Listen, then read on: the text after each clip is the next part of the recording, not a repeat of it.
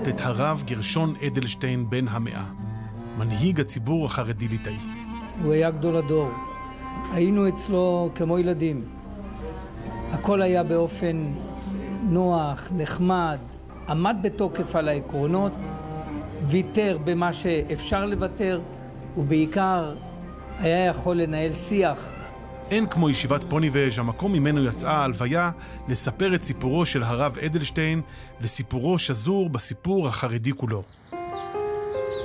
אחד מראשוני התלמידים בישיבה שהוקמה בבני ברק לאחר השואה, והפכה לסמל של למדנות ומצוינות. הכוח מקבל השליח, ולי בקושי, התלמיד הפך לרב, ואז לראש ישיבה שלימד עשרות אלפים, תפקיד שמילא על הגבעה בבני ברק במשך עשרות שנים. זכויות זכויות, להוסיף זכויות, זה מה שחייבים.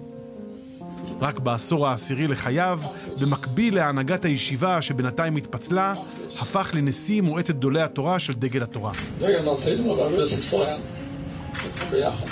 זכות גדולה מאוד.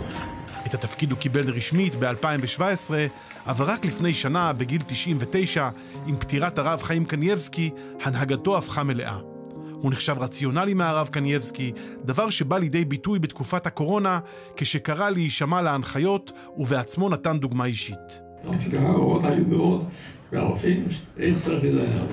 הוא עודד גישה מתונה בחינוך הילדים, כמה להקפיד איתם על הזמן קרישמי בזמן תפילה. בדרכי נועם, בדרכי נועם, רק בדרכי נועם. רק בדרכי, בלי כפייה.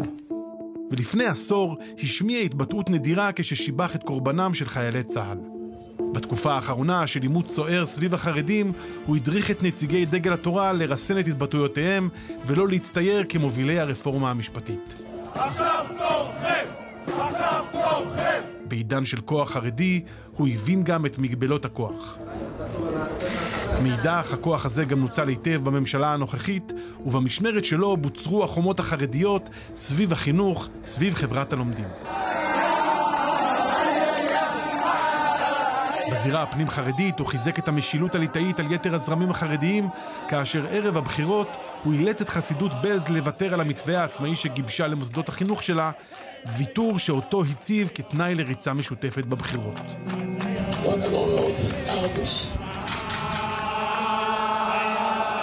האחדות תהיה גם האתגר הגדול של ההנהגה הבאה. הרב אדלשטיין הוא המנהיג הראשון שלא היה מנהיג בלעדי. יורשו או יורשיו ינהיגו ציבור בתקופה של פיצולים פנימיים ובעידן שבו החרדים כולם נמצאים בעין הסערה.